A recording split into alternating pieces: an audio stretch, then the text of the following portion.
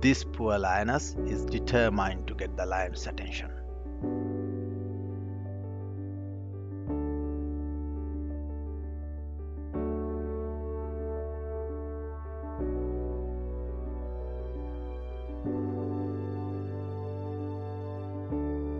The male lion is totally impervious to the lioness's attempts to seduce him.